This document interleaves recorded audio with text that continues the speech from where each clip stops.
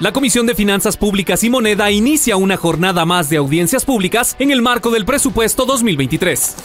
Este día los legisladores de la sala legislativa realizaron 13 reuniones, iniciando con autoridades de la Dirección General del Sistema Penitenciario, posteriormente a la Asociación Nacional de Auxilio Póstumo de Empleados y Exempleados Públicos, ANAPEP, Asimismo, participaron los representantes de la Fundación Guatemalteca para el Manos Amigas, además al Instituto Neurológico de Guatemala y la Unidad de Cirugía Cardiovascular de Guatemala. Este día también estuvieron las autoridades de la Fundación Guatemalteca para Niños con Sordoceguera, Fundal, el Instituto Juntos por la Vida, JUVID y la Unidad Nacional de Oncología Pediátrica. De igual manera, los funcionarios de la Fundación Sonrisas que Escuchan, así como de AVID, Producción y Comercialización de Hortalizas. Para finalizar la jornada de este día con autoridades del Comité Ad hoc Nacional de Enfermería Multidisciplinario, Asociación Compañeros de Cirugía, así como con la Asociación Innovando y Desarrollando con Sostenibilidad de Guatemala. Las audiencias públicas tienen por objetivo transparentar el proceso de análisis del presupuesto 2023, además de fiscalizar la ejecución presupuestaria del año en curso como parte de la rendición de cuentas y uso correcto de los recursos. Es importante resaltar que las diferentes instituciones también presentan su proyección presupuestaria para el próximo año y los legisladores hacen uso de su función de intermediación para velar y garantizar mejores bienes y servicios para fortalecer el desarrollo integral de los guatemaltecos.